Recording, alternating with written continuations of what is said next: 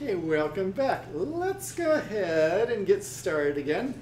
Here's what we're going to do for this last little part of class here. We are going to talk about really how we link the models back to the architectural model, but continue to talk about this whole issue of modeling structural elements and how we go through and kind of do that both a little more easily, but also in ways that sort of give you a little more power. So let me kind of look at sort of at a high level what we've been doing here.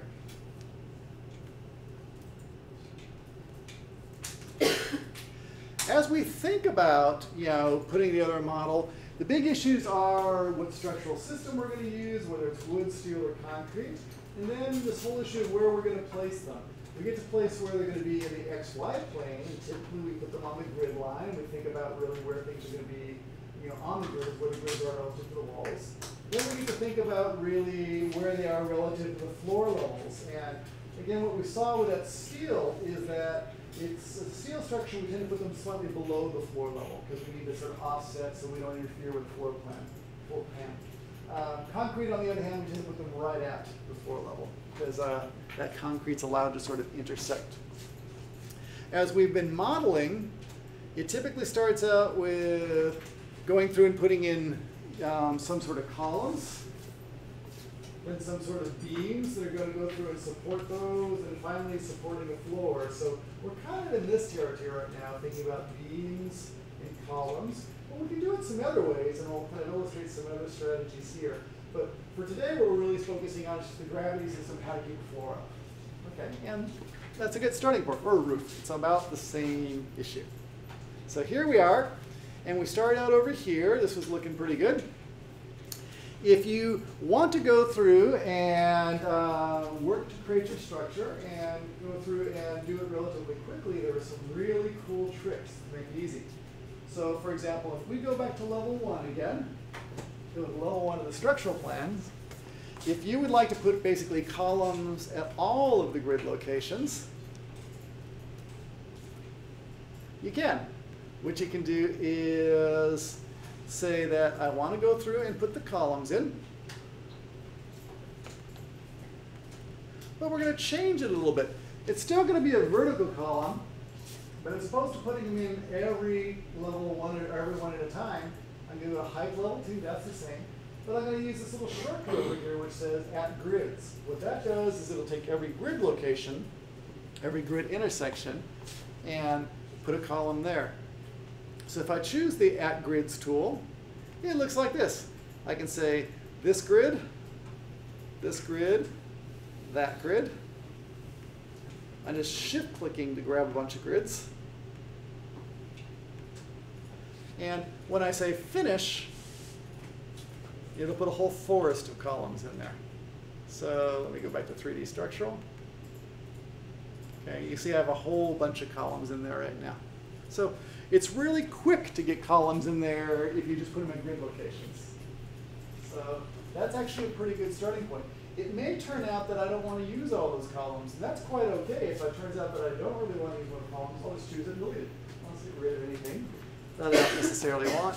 So for example, oh, right over here, maybe I don't want to have a column right there, I'll just take it out. So that's kind of quite okay.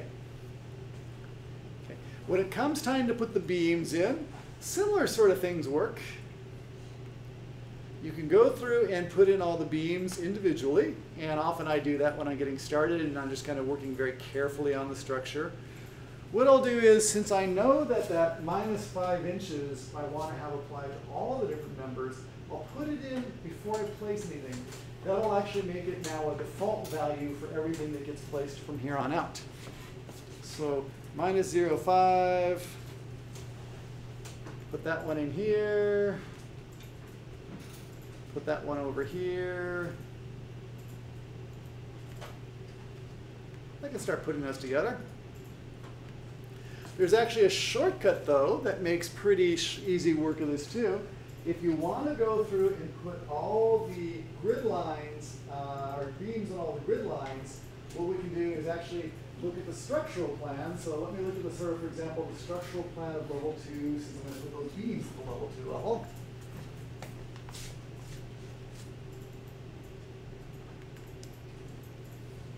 And you'll see a few of them are in there. The ones that are sort of, uh, let me turn off the thin lines so you can see them better. You can see the uh, kind of heavy lines in there where the beams are. If you want to go through and put beams right at the grid lines, what we'll do is we'll choose the beam tool. And we'll say, let's go ahead, I'll put them at level two. I'll put them on grids. And if you choose that, and then you choose one grid line, you choose another grid line, another grid line. I'll grab these grid lines in this direction. Finish that.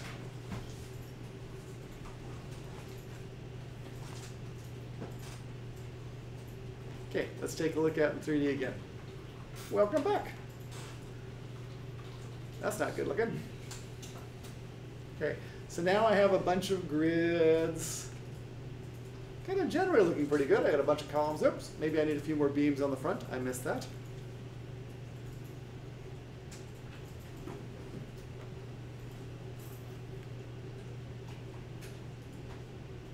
Now I've got the final one over here.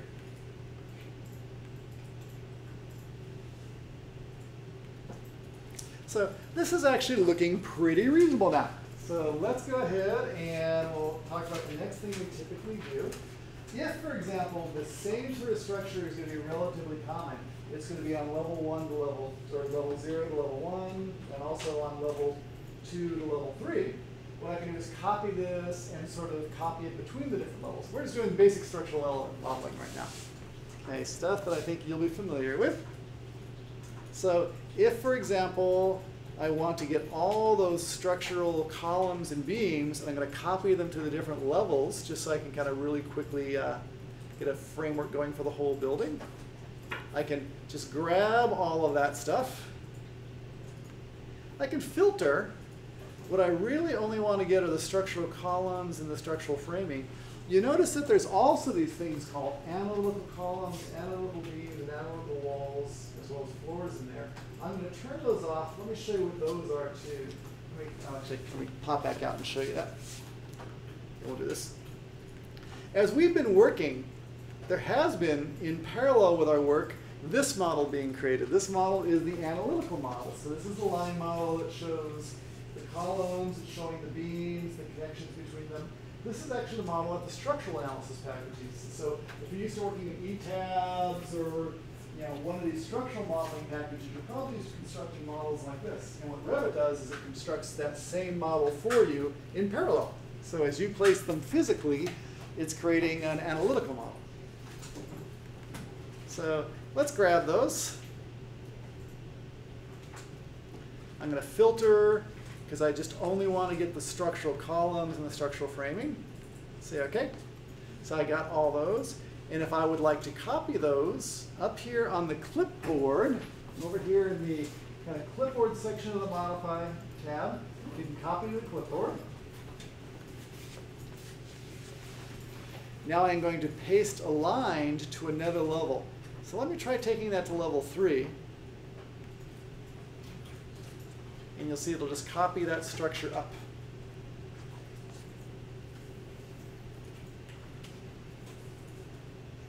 There we go. I can also paste align it down to level one, and that'll put it down on the lower level too.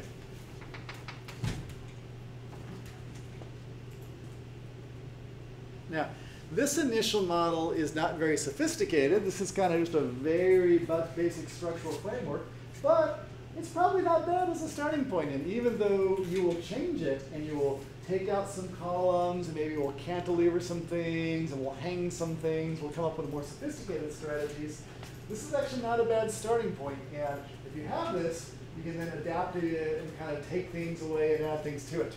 So let me add the last thing to this very basic structural model that was probably what's necessary to help get going will be the foundation elements. So let's put a few of those in, and then I'll link it back to architectural. Then we'll go back and adjust this and make it a little more interesting. So here I have my model. It's not looking too bad. At the bottom of all these gravity elements, it's all going to come on down. It's going to hit into the ground. We need to put some support there just to keep those very concentrated loads from creating a rupture in the ground if we exceed the loading capacity of the ground. So what I typically do is go through and put some sort of a footing in there. You have isolated footings, which are very good for point loads from columns. We have wall footings if you have a structural wall, either a footing wall or a shear wall. We can put on that. A slab is just an entire area. So I'll put some isolated footings in here. I'm going to put them at level zero. And I can place them. I'm going to actually do this. I'm going to say at columns and just put it right there. I'll shift click or control click.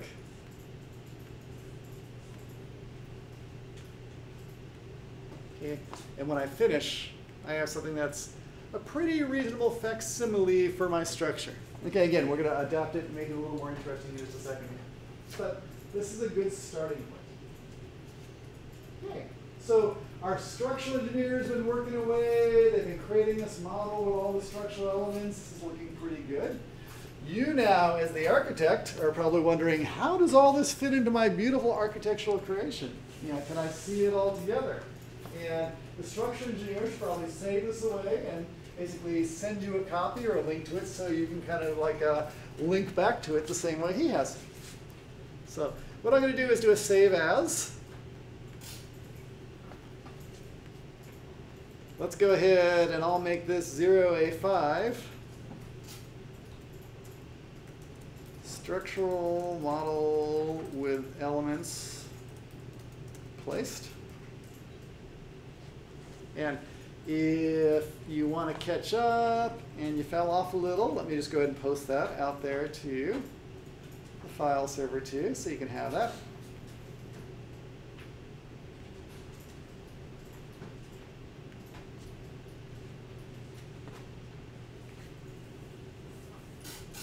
Okay, so if you want to grab the structural model I've been working on, there it is. So 0A5 is the one for you. Okay. The next thing to do is say, okay, great, I got a structural model. Let's link the architectural or it into the architectural model so you can see how it all works together. And how you do that is as follows. So as the structural engineer, you've been working over here, and you might remember when we linked the structural model or the architectural model to the structure, we had to close the architectural model because you couldn't keep it open for editing at the same time you were uh, linking to it. So we need to do a similar thing over here. I'm going to close the structural model. And I'm going to open up the architectural model, old 0A1, and we'll bring it back. So this is where we got started.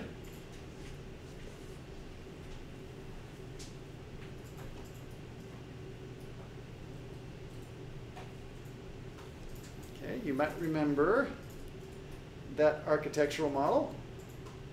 If I want to bring the structural model and link it back in, it's actually just like we did for the structural model, or the architectural model to it.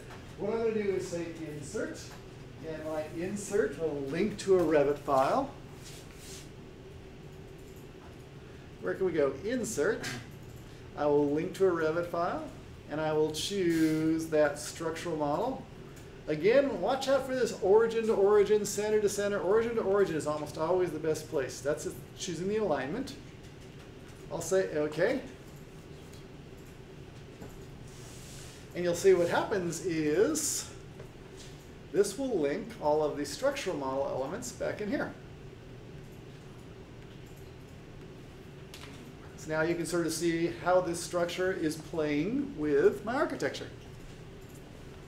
Now, some things aren't looking so good right now, but you know, we kind of adapt some of those things, but you can see where the architectural is relative to the structural. In terms of that structural though, notice this aspect of it. If you try to click on the structural elements, you can't get them. You get these sort of blue look but don't touch box because you don't really own the structural elements. The structural engineer does. So at this point, if he wants you to go through and change your architecture, he has to tell you and have you upload your model. If you want him to go through and change the structural model, you basically have to tell them, and then like they can change it, and you're going to always be working everything with a little bit of negotiation there, just kind of protecting each other's work. And it's really done that way to protect you from the liability of accidentally making changes to someone else's model. So it all starts with just creating these very basic structural frames. And when you have that, you can save that away. But in this model, you might notice it's not exactly what we have in mind. So let's go through and kind of enhance our model a little bit. Okay?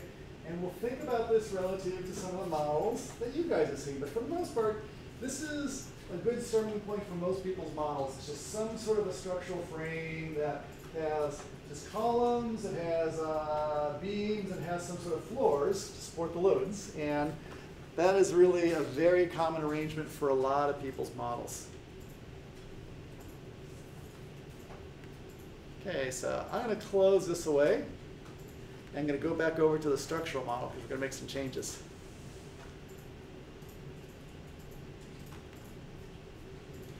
So I'm going to open up that 0A5 again, and I'm going to continue enhancing it. Because there's all these different things that are true that may actually sort of affect the way you start thinking about your structure. Because structure, it doesn't have to be so boring. This is actually a pretty kind of regular, almost sort of boring sort of arrangement right now. And depending on what we want to achieve architecturally, we may not want to have this forest of columns and beams and all this kind of stuff. So you might want to do things that are a little bit different. For example, let us consider some of these different scenarios. Let's consider the scenario that maybe we don't want to have um, all these kind of intermediate columns. We want to think about there being a very nice long span, something that really has something longer than you can typically span with a single column or with a single beam. Okay? So we can go through and, for example, take out some columns. Okay, that's okay. If you think that we could actually size something so that we can basically bring this across all the way to join it here and sort of come up with a reasonable size, that's kind of a-okay. That is fine. We could have a very deep beam. And what we'll find out is that, you know, when we size up the structure, that may get to be a very tall beam. It may be larger than we want. But we could go through and do the analysis. There's nothing that says that everything has to be simply supported. We can have beams tying into other beams. Say, similar thing sort of up here. We can bring this across and resize that beam coming across here. What can happen though is if you have very long spans, like oh, like Peter, for example, as I was showing your model a little bit on like uh, like Thursday. If you have a very long span, like how long is the span across the, uh, the kind of main aquarium space of the main? Is uh, 100 feet. Like 100 feet. Okay, 100 feet is probably longer than a simple beam would be good to span. It would have to be very, very deep and very chunky, or we'd probably just have some stability problems. So a simple beam is probably not a good choice there. For very long spans, we often use trusses. Okay, and if you want to think about trusses to span over these very large open spans, you think about like coliseums and sports arenas or just big warehouses, spaces where you want big open spans. What I can do is take out the beam, and there's actually a truss tool. So the truss tool is under structure. It's right here. Trusses work like this. You basically choose a shape of the truss. This is just a little flat truss, a Howe truss right now. But there are other shapes available too that we could load in. But what we're going to do is I'm going to place this at level 3 and just go from here all the way over to here. It'll create a truss. Now, when you're creating trusses, there's some choices that are available. There's the whole question of, is the truss bearing on the lower chord or the upper chord? And if I want it to be the top chord as opposed to the lower chord, I can change that down. Now, that's a very tall truss. I can change the truss height. I only want it to be three feet tall. Realize trusses do take up a whole lot more room. So There's all sorts of things about the size and the geometry and the size of the members and the overall shapes in terms of what's going to work and not work. So we can start following trusses. Trusses generally work pretty well. They have one sort of interesting property you should be aware of, and that is they're made up of a lot of individual elements. So if you only have big chunky elements loaded into your structure, into your model, it'll be made up of big chunky elements. Let me go back to showing you what that looks like. You can sort of see these are all big chunky elements. The reason is they're defined right now just to use kind of these big wide flange sections. If you want to sort of make it a little slenderer and just a little more uh, kind of elegant, you can load in. Let me load in some smaller elements. I can go to structural. I'm gonna go steel. I'm gonna load in some tube steel sections.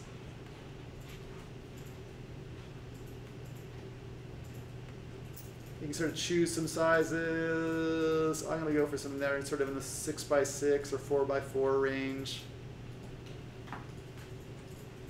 Again, don't worry too much about the precise size because the analysis software actually helps us figure out what the correct size needs to be. But I can choose that truss and in its definition, I can say that for the diagonals, I want to go through and use a smaller section.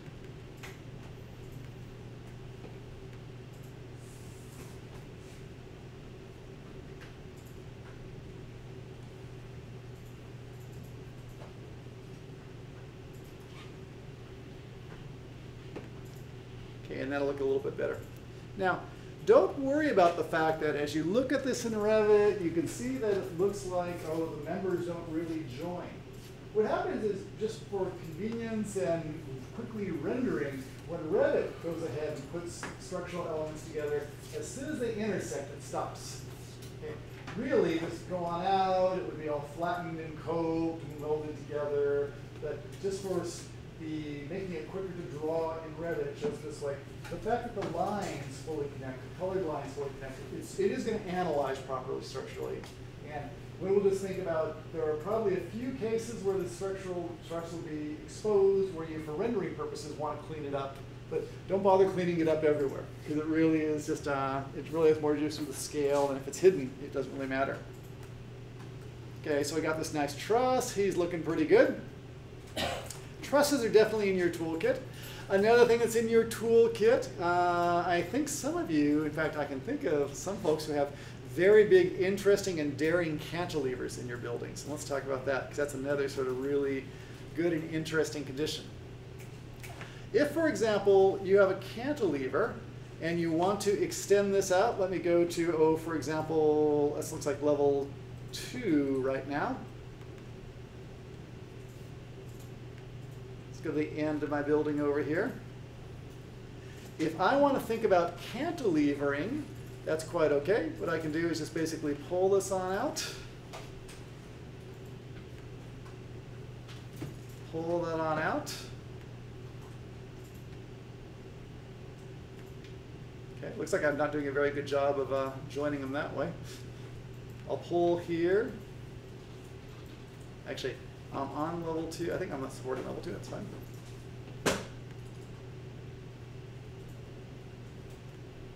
And let me join those two together. I wonder if I can trim those together. Let me try that.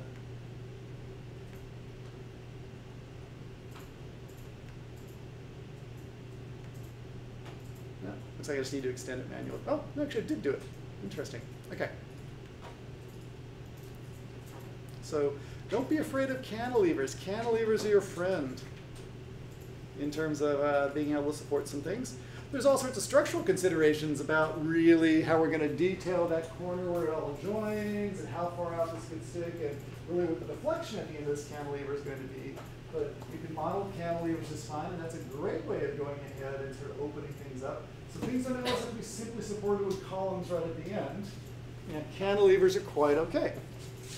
So for example, when I look at this structure, for example, let me go through and do the section.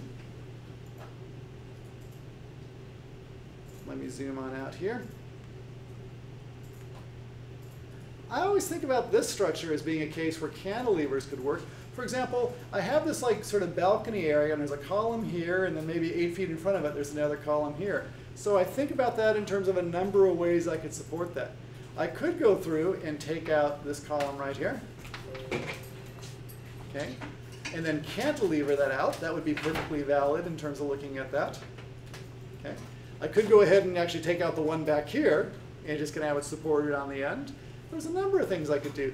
I could think about, for example, doing a diagonal column. So don't be afraid of diagonal columns. Sometimes that's an interesting approach. If you want to think about diagonal columns, they're over here. Oh, hang on. I, I need to almost do it in the floor plan view. Cancel out of that. Let me go back to level two. Actually, supporting level two. I'm going to do it on level one. Now I'll do it on a level two floor plan. I'm sorry. Okay.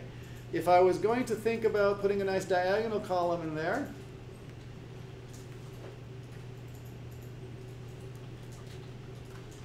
I guess it's over here on the end. What I can do is something like that. Hmm.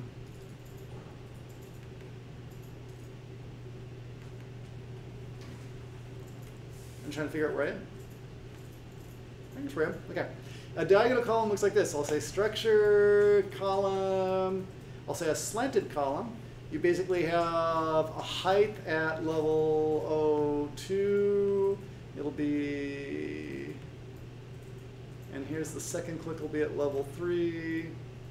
Oh, come on, you. You gonna do it for me? Okay, 2 to 3. So I can go here, and on the third level, it'll be over there.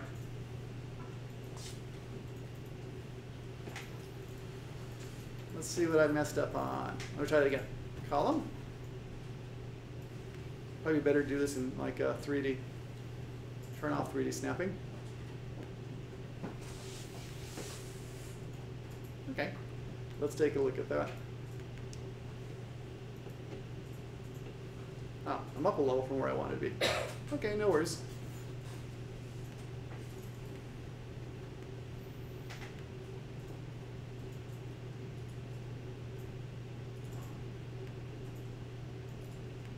Well, that's interesting. It thinks it's there. Oh, but for 14. Hmm. I think I have to place it again.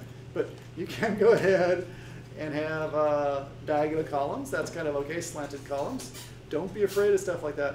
Or last but not least, one of my favorite techniques that not enough people use, but I think Peter may actually be using this, is you can hang things. Don't be afraid to hang things from the roof. If you have big beams or trusses up at the top of your building, you know, you can go through and run rods on down and actually pick up the columns there. So the idea would be, it's interesting, they don't have a good threaded rod element just to kind of work with.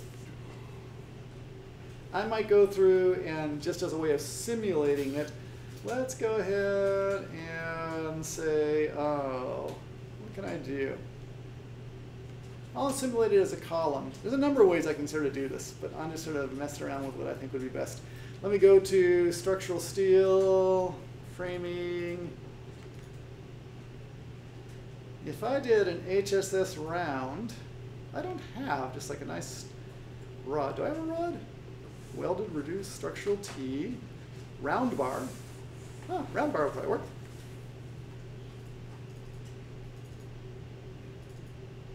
Oh, I'm in the wrong place. I have to go to structural columns. Load family. I went to structural framing. Structural columns, steel, pipe column, nothing awfully interesting in there. Just a bunch of stuff in there. I'll go to pipe column. Just choose a really skinny one in there.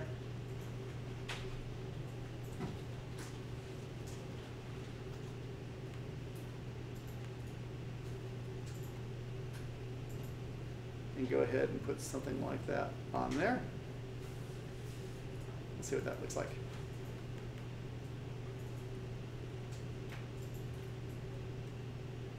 Hmm.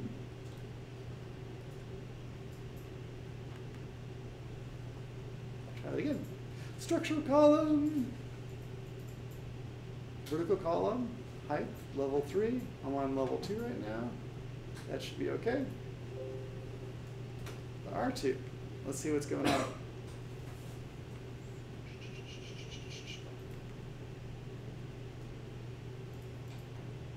It thinks it's there, but I'm not seeing it.